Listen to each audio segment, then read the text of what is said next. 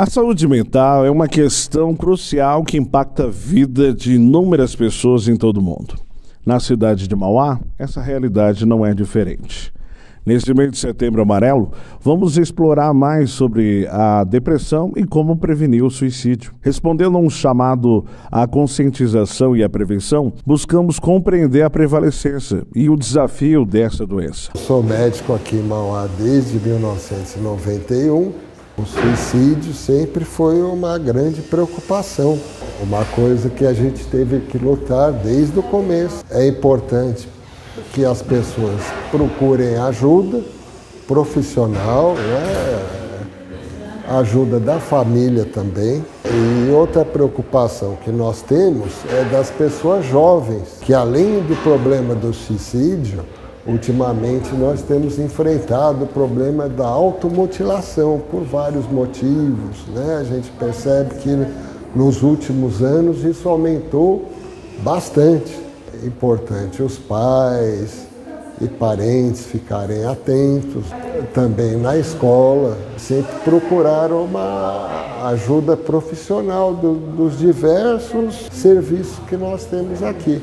Nós também temos os postos de saúde, o Hospital Nardini, Todos esses serviços são importantes e têm o seu papel. Durante o período de 2020 até agosto de 2023, observamos um total de 198 casos de ideação e 110 casos de tentativas de suicídio, relatados por usuários, atendidos no CAPS adulto em Mauá. Esses números são um alerta, mostrando a importância de se abordar as questões de saúde mental de uma maneira abrangente e preventiva. O entendimento da relação entre depressão e ideação suicida é crucial para evitar tragédias e promover um ambiente de saudável para toda a comunidade. Eu já até passei por uma fase disso numa época minha, numa época um pouco mais jovem. E quando foi que aconteceu isso? Ah, foi numa cerca de um tempo quando eu, tipo assim, eu não estava muito bem com meus pais, já estava com os problemas dentro de casa. E para piorar a minha situação, acabou um parente meu falecendo, minha avó, que era muito querida e sempre estava do meu lado. Isso fez totalmente eu não ter ninguém para correr, nem pai, nem mãe. Eu acabei trancando no meu quarto, tive indelização, tipo, muito da cabeça às vezes, e não pensei mais nisso. Aí conforme minha cabeça girava, eu nunca mais fui aquela pessoa, tipo, chorava pelos cantos, tristeza. Meu pai e minha mãe falavam, não, isso é só besteira, ele tá querendo se mostrar. Que a, da, da, situação que você estava, então, depois da perda da sua, do seu ente querido e tal, Sim. hoje você considera uma pessoa superada comparada àquela Sim, lá? considero uma pessoa superada. Conforme tudo que vieram me ajudar, eu percebi, percebi que tudo isso é, era uma crise muito forte para algumas pessoas que tem. Tem pessoas que têm crises bem mais fortes que a minha tipo assim, que tipo, tenta muito ideação e tipo, as pessoas mesmo, hoje em dia, tipo, como a gente já tá entrando no mês do setembro amarelo, eu queria que essas pessoas, às vezes, elas pensassem, procurassem alguém, um psiquiatra, ou alguém que se junte a ela que possa estar tá ajudando. E você chegou a tomar medicamentos também? Já cheguei a tomar medicamentos. E hoje você ainda toma? Ainda tomo medicamentos. Tem te ajudado? Tem me ajudado. Com as crises eu tive muita insônia, não conseguia dormir de noite minha cabeça ficava em outro lugar.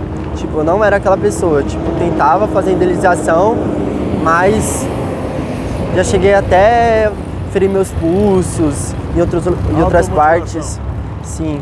É, vamos dizer o seguinte, é, aquele Carlos hoje é preso, que estava preso, né, é, enclausulado no seu quarto, hoje é um Carlos que hoje tem uma outra vida. Sim, um Carlos que tem outra vida. Tipo, eu olho pro mundo e vejo assim, eu sou a luz e eu vou fazer a diferença.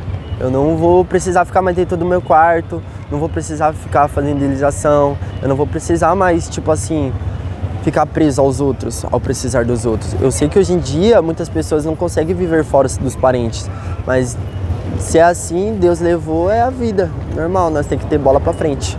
Sirva de exemplo no seu depoimento para elas também superassem como você deu Olha, a palavra boa que você usou que eu ia falar agora é superação.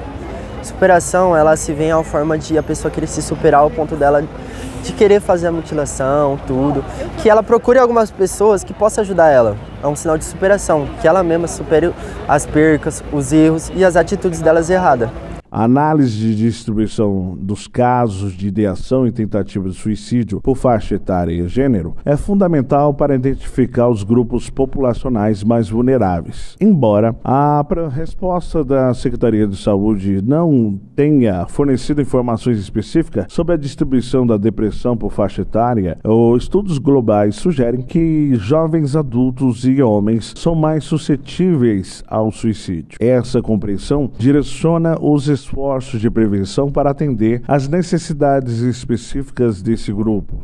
A depressão e o suicídio são questões complexas. Muitas das vezes relacionada a diversos fatores: problemas de saúde mental, conflitos familiares, isolamentos, entre outros desafios, podem contribuir. Ao trazer essa informação à tona, durante o mês de conscientização, esperamos encorajar conversas abertas sobre a importância de buscar uma ajuda profissional quando necessário. Sempre recomendo aos meus pacientes que levem o lazer tão a sério quanto o trabalho, né?